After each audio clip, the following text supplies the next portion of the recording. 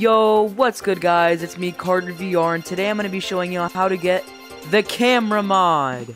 Okay, so, you know, with the camera mod, you're able to do many different options, such as, so the first thing I would say that you can do is, you know, you can just, like, let go of it, and it'll just stand there.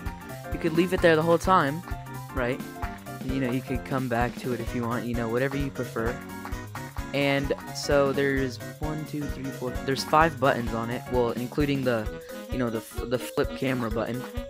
But that's besides the point.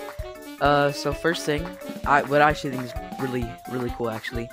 So they have the um the follow player button. Now this might look a little weird, but watch as I run away. The camera will follow me, and it won't stop unless you know I you know, grab it or anything, but I can do whatever and it'll just follow me the whole time. You know, I can I can do cool stuff. I can jump over it.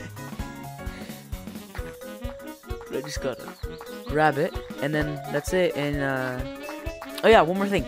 Third person might look a little weird, but you know, this is third person obviously. This is like what the normal Gorilla Tag camera looks like. Well, on PC. This one normally looks like it's third person.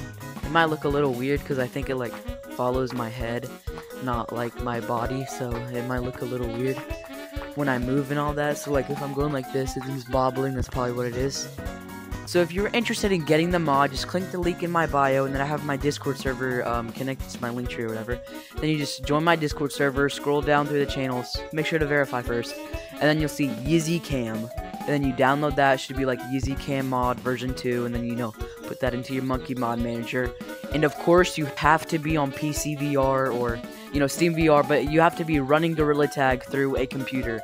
And, you know, the mods have to be injected. You can't do these mods with uh, Quest by itself, like standalone. So yeah, bye guys.